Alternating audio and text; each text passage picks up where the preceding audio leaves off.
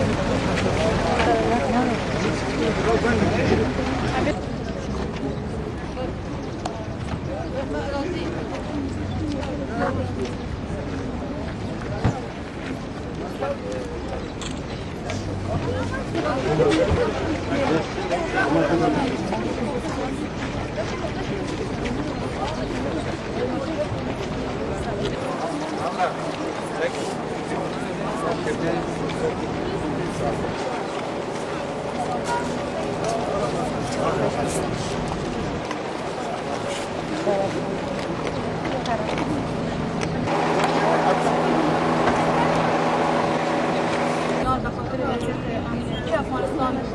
می‌خواستند نیروهای خود اساکر خود به افغانستان بفرستند هم پیشاویا و هم اسپانیا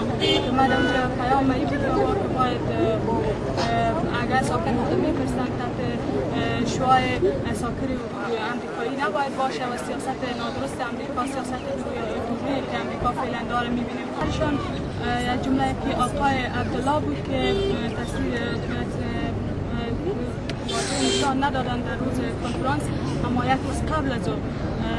اساسیت نشان دادن باید در چارچوب پارلمان خود مسئول احساس می‌کنند پنج را می‌خواین از این استفاده کنند. و هر جای که سر کنم و هیچ کس ایتالیا هم سخنرانی داشتم که هم بیشتر علاقمندی به این داشتن که سفر خود می‌خواستن روان کنند و نگرانی از داشتن وضعیت امنیتی خوب نیست. و بزا هم من گفتم که باید شما مستقلانه عمل کنید با پلیسی امریکا باید پیش نرید که پلیسی سیاست نادرست غلط و ضد مردمی است